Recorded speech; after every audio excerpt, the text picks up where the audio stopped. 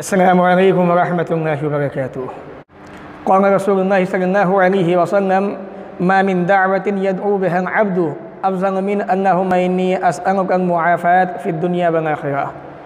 ابن ماجہ، کتاب الدعوات، حدیث نمبر تین ہزار آٹھ سو اکیاون. بھائیو، انسان دنیا کے اندر اپنے رب کو منانے کے لیے، اپنے رب کو راضی کرنے کے لیے بہت سارے طریقے اپناتا ہے، انہی طریقوں میں سے ایک طریقہ دعا مانگنا بھی ہے۔ اور ہر انسان اپنی حیثیت کے مطابق، اپنی کیپیسٹی کے مطابق رب سے دعائیں مانگتا ہے۔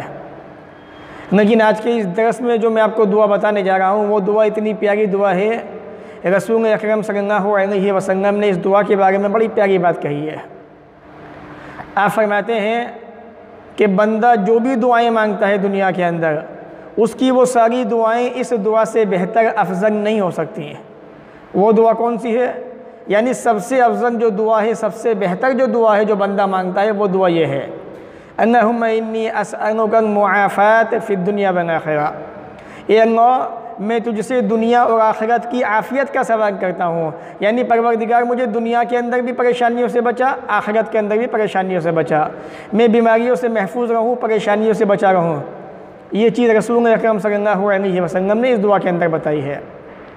تو آپ کو یہ دعا یاد نہیں ہے، آج ہی یاد کیجیے اس دعا کو اور اپنی دعاؤں کے اندر اس دعا کو پڑھا کیجیے۔ اللہم انی اسألک المعافات فی الدنیا والآخرہ پروردگار ہمیں بھی آپ کو بھی نیک عمل کی توفیق عطا فرمائے۔ وآخر دعوانا ان الحمد للہ رب العالمین۔